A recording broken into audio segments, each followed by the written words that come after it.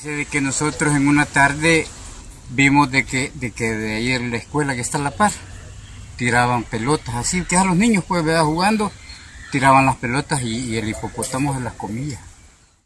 Así resentía don Roberto el fallecimiento del hipopótamo Gustavito. A su punto de vista, algunos de los animales albergados en el Zoológico Nacional no viven en las condiciones adecuadas. Son los mismos visitantes quienes aseguran que los más de 600 animales que se encuentran en el lugar no están recibiendo la atención necesaria. El tigre está bien seco.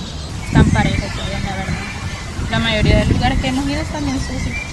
Pues algunos tal vez no, algo otras sí, porque algunas están descuidadas. Consultamos la postura de algunos empleados quienes dijeron sentirse indignados por las condiciones en las que viven los animales. Aseguran que la muerte de Gustavito no es la única que las autoridades intentaron ocultar.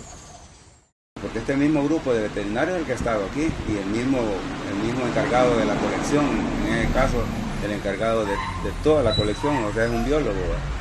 Junto con los veterinarios y, biólogos manipulan los, datos reales y lo hacen, aunque no sean así, ellos hacen que, que por causa de tal o cual motivo se murieron. Así lucen algunas de las vitrinas en las que antes se encontraban serpientes de diferentes clases. Al preguntar a los visitantes su opinión sobre lo que se debería hacer con el zoológico, dijeron.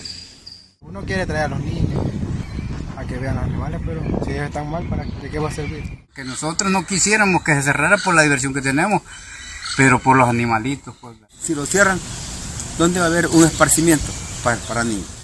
Autoridades buscarán crear un espacio donde solo se albergue animales de clima tropical.